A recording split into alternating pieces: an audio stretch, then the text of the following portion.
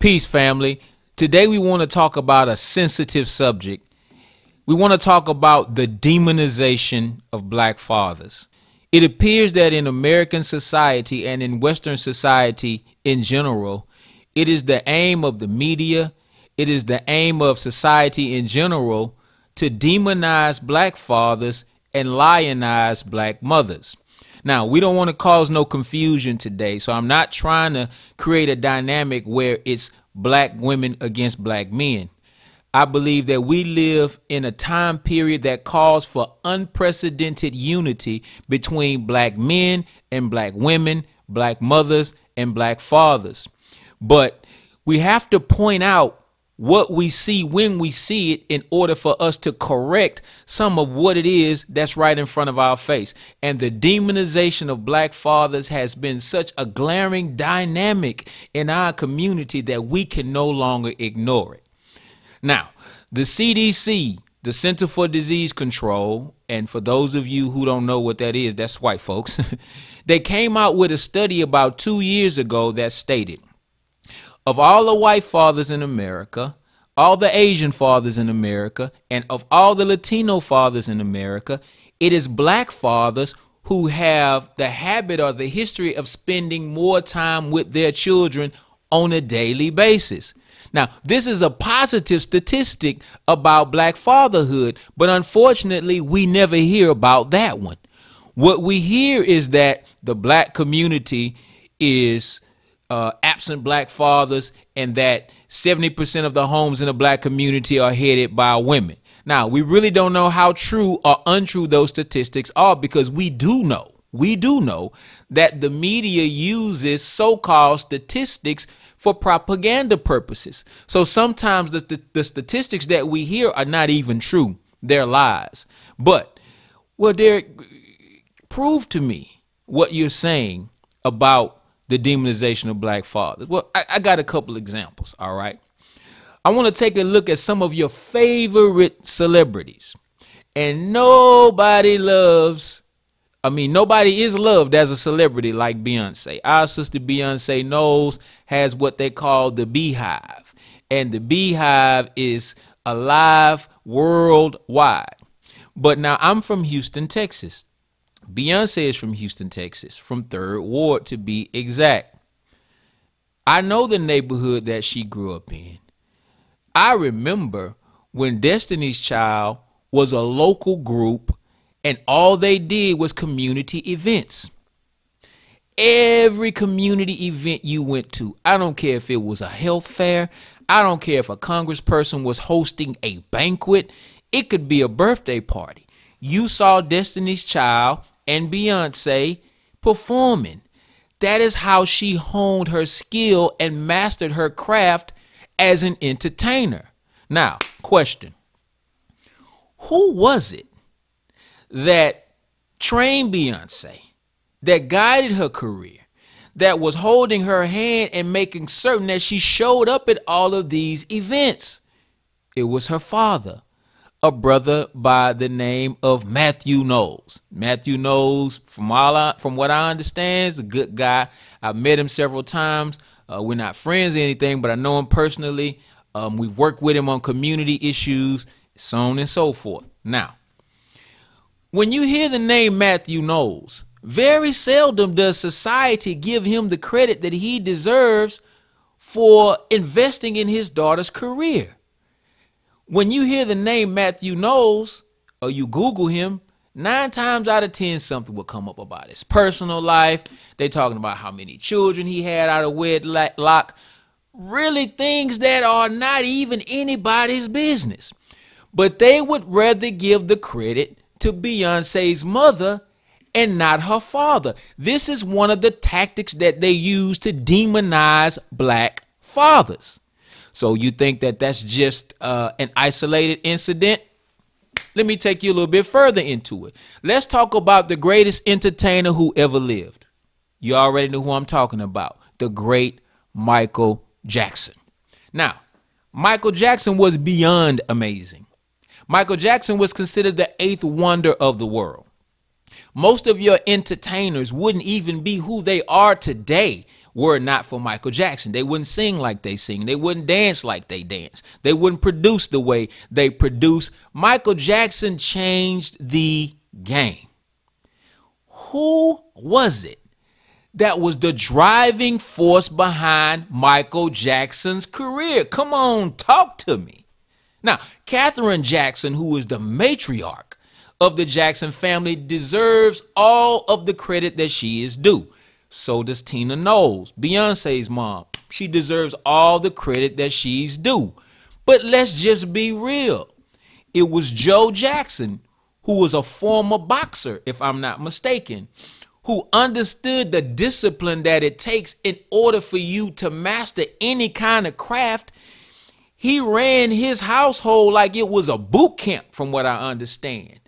And though we may have disagreed with his methods, we cannot argue with the results.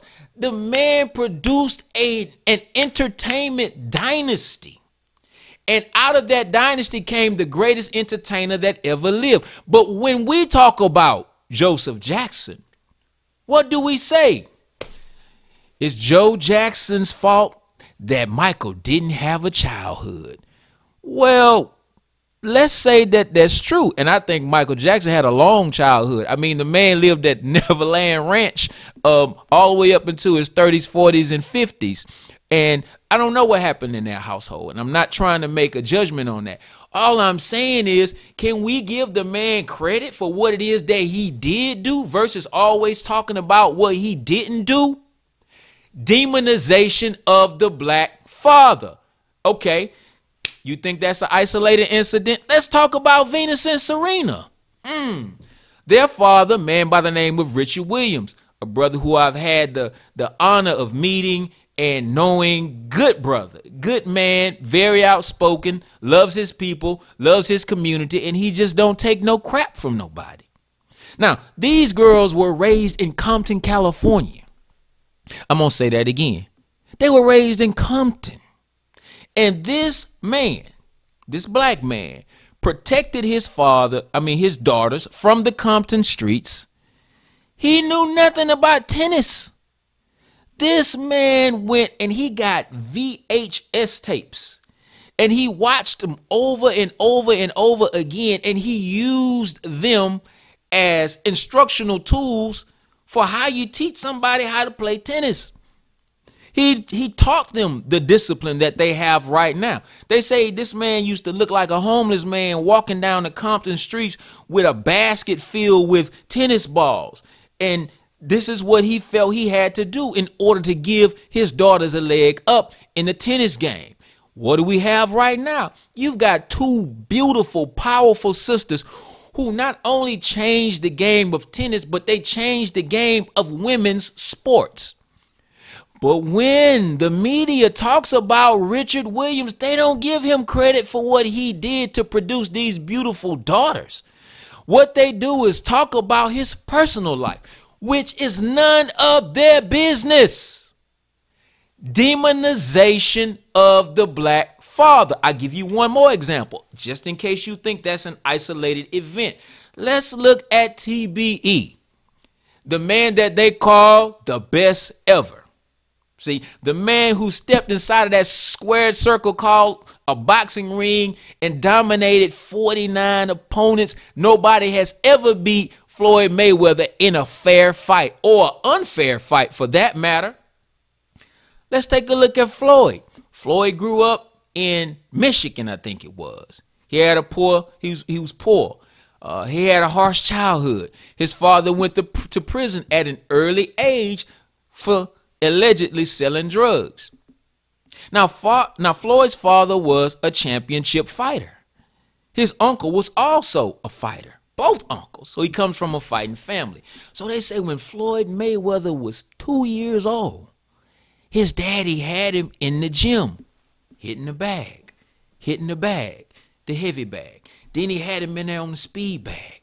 And they talked about how hard he was on his son he made him get out there and run even when his son didn't want to run. And so even the family members used to complain that Floyd didn't have no childhood because his daddy was too hard on him. But look at the man now. This man is a master craftsman when he laces up those leather gloves. Nobody can be Floyd Mayweather. But when they talk about his father, they rather talk about the stint that his dad did in prison or the personal issues that he and his father have had. But nobody wants to give the man credit for creating a genius in the boxing ring. Floyd Mayweather would not be who he is today were it not for his father. Demonization of the black father. So, what they would rather do is demonize the father and lionize the mother because they know the natural order of things says that the man is the head of the community and the head of the household. And when you remove the head, the rest of the family is fair game. This is a propaganda tool that they've been using for years, brothers and sisters, and we gotta wake up. So, so what are you saying, Deric? What are you saying, Deric? I'm saying that we have to be careful how we look at one another. See, I've given you examples of celebrities, but you gotta realize that this is just a microcosm of a macrocosm. This is something that happens every single day in your family and in my family. So on every Father's Day, I call it so-called Father's Day because it's a shame that in Western society they have to commercialize everything that is of virtue and value. Like motherhood is very, very valuable. Let's make a day out of it and try to find a way to make some money off of it. Uh, same with fatherhood. Beautiful concept, beautiful principle, the principle of fatherhood. Let's find a way to make some money off of it. So, here in the city of Houston, every Father's Day, we host what's called a Day of Encouragement for Black fathers. And we want to challenge other cities.